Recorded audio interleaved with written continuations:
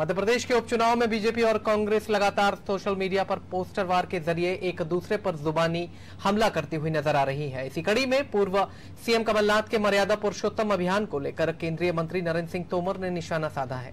तोमर ने कहा, भगवान श्री राम मर्यादा पुरुषोत्तम है और अगर कोई मर्यादा पुरुषोत्तम बनने का दुस्साहस करेगा तो जनता उसको जवाब देगी।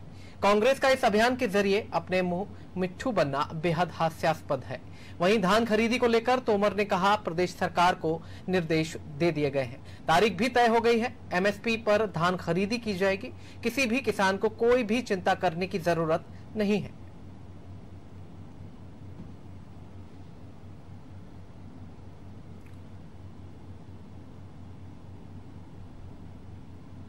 व्यक्ति चाहे तो मर्यादा पुरुषोत्तम तब तक नहीं बनता जब तक उसको लोग नहीं स्वीकारें।